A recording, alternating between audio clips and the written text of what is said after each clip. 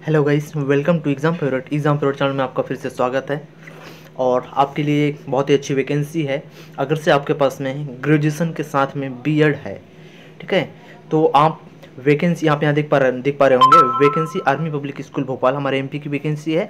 इसके लिए आप अप्लाई कर सकते हैं, ठीक है? और बात करें हाँ कि आप ये ऑफलाइन अप्लाई करेंगे मतलब कि इसके लिए आपको ऑफलाइन अप्लाई करना पड़ेगा और इसके लिए जो एड्रेस रहेगा वो यही रहेगा, ठीक है? Army public school Bhopal Dronachal Nevri hills PO Motilal Nehru Nagar. ये आपके सामने में, एक मिनट। भोपाल थ्री एट और मैं इसका और एक एड्रेस दिखाने वाला हूँ आपको। लास्ट में वीडियो के लास्ट में दिखाऊँगा ठीक है? तो इसके लिए वैकेंसी आई है। अगर से ग्रेजुएशन है आपके पास में बी है तो बिल्कुल आप इसमें टीचर के लिए वैकेंसी आई हुई इसके लिए अप्लाई कर सकते हैं आप। ठीक है?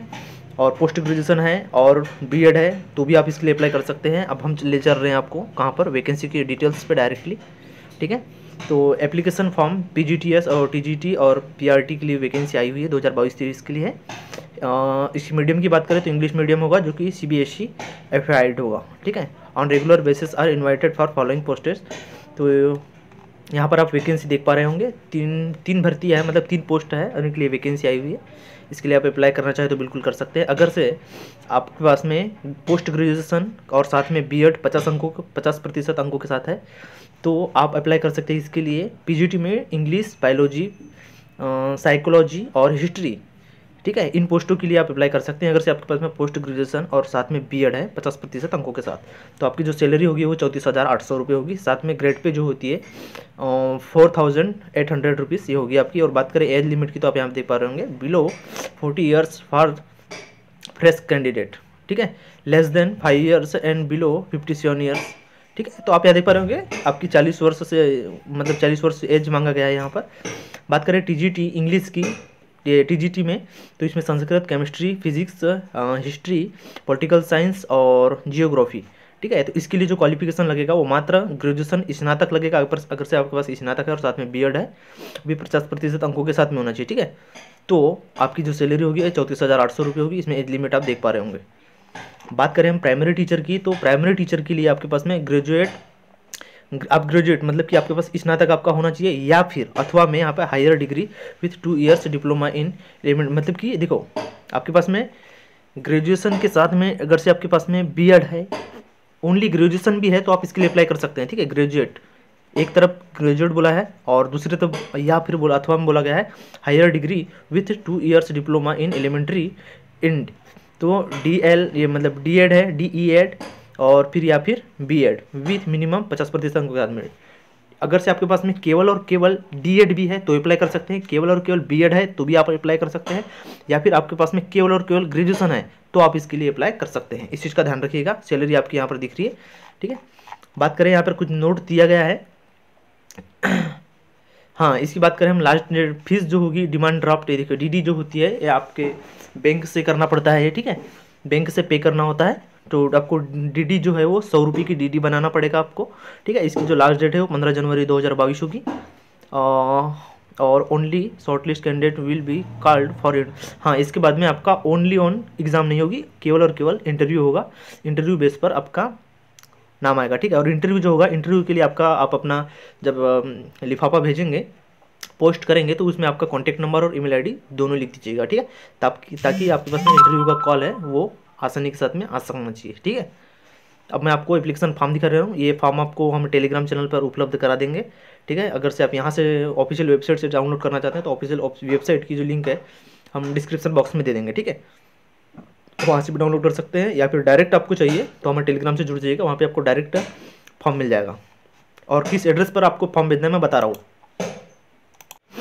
और ये रहा आपका एप्लीकेशन फॉर्म ठीक है, इसको मतलब आपका कौन सी पोस्ट के लिए अप्लाई कर रहे हैं, यहाँ पर लिखना है।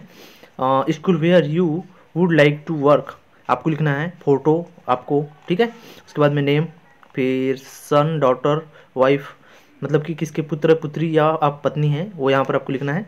डेट ऑफ़ बर्थ रहेगा नेशनलिटी रहेगा इंडियन ठीक है? स्टेट आपका एड्रेस रहेगा। कॉन्टैक्ट डिटेल आपको ज़रूर देना है, ताकि आपके पास में, ये देखो मोबाइल नंबर और ईमेल आईडी दिया है, ताकि आपसे आसानी के साथ में कॉन्टैक्ट कर सकना चाहिए, ठीक है? फैमिली लाइफ, ये सब डिटेल्स है, ये सब आपको फिल कर लेना है, ठीक है? देखते हुए। ये तो सब समझदार है, आप इतना तो फिल कर सकते हैं, ठीक है? बाकी तो मैंने पिछली वीडियो में कई बार बता चुका है कहाँ कहाँ, क्या क्या अप्लाई करना है। तो ठीक है, इस प्रकार से आपका फॉर्म होगा, ये सब कुछ आपको फिल करके। और किस एड्रेस पर सेंड करना है तो मैं आपको बता दे रहा हूँ। हाँ देखिए। ये ये चीज़ इंपॉर्टेंट है, मैं ये बता रहा हूँ। इंस्ट्रक्शन टू कैंडिडेट आपके लिए कुछ इंस्ट्रक्शन दिए गए निर्देश। Please download and print the application form ठीक है? ये जो फॉर्म है, इसको अप्लाई मतलब कि डाउनलोड कर लेना है प्रिंट कर लेना है। उसके बाद fill the name of only one school in cluster ठीक है? उसके बाद में all details at sir one person fill of in block capital letters आपको पता है। उसके बाद में कैपिटल लेटर्स में भर दिए, ठीक है? फिर पेस्ट वन मतलब कि पासपोर्ट साइज़ की फ़ोटो होगी on the from on the form and attach one additional photograph मतलब कि एक एडवांस मतलब एक्स्ट्रा की एक फ़ोटो आपको वहाँ देना है, ठीक है? कॉल लेटर के साथ में। फिर सेंड बाय पोस्ट आपको सेंड पोस्ट के द्वारा करना है। No application will be accepted by email मतलब ईमेल से अगर से फॉर्म सेंड करते हैं तो वो कि, जो कि आपका एक्सेप्टेड नहीं है, ठीक है? सेंड बाय पोस्ट करना है, और किस एड्रेस पर करना है, मैं आपको बता रहा हूँ। तो आप जैसे पोस्ट करने का रहेगा तो पोस्ट में आपके जो क्वालिफिकेशन है, उनके डॉक्यूमेंट्स और सेल्फ अटेस्टेड होना चाहिए, ठीक है? आपकी वहाँ पर साइन होना चाहिए, ठीक है? प्रत्येक छायाप्रति में मतलब प्रत्येक झेराक्स में आपकी साइन होना चाहिए, पूरे डॉक्यूमेंट्स और एक आपको फ़ोटो तो फॉर्म में चिपकाना है, लेकिन एक एक्स्ट्रा की भी फ़ोटो वहाँ पर आपको लिफाफे के अंदर डाल देना है। साथ में आपका जो send D D for hundred rupees payable at bank bank close to the location of the school ठीक है? तो मतलब कि आपको जो मैं एड्रेस बता रहा हूँ ठीक है? ये आर्मी स्कूल भोपाल के नाम से निकली है, इसी के नाम से आपकी डी बनेगी सौ रुपये की, ठीक है? और किस एड्रेस पर भेजना है मैं आपको वो डिटेल्स दिखा रहा हूँ, ठीक है? हाँ तो आप यहाँ देख पा रहे होंगे, ये आपका एड्रेस है मतलब ये लिफाफे के ऊपर लिखना ज़रूरी है, ठीक है? इस एड्रेस पर आपको भेजना है, और अपने पद का नाम और अपना नाम लिफाफे के ऊपर ज़रूर लिखिएगा, ठीक है? Army public school Bhopal army public school Bhopal Doranchal Nevri hills PO, Motilal Nehru Nagar.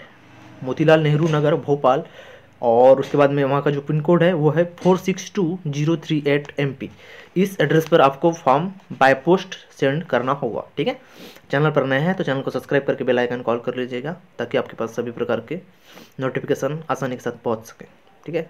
Thank you so much मिलते हैं अगली वीडियो में। फिर भी कोई डाउट हो तो कमेंट बॉक्स में कर दीजिएगा।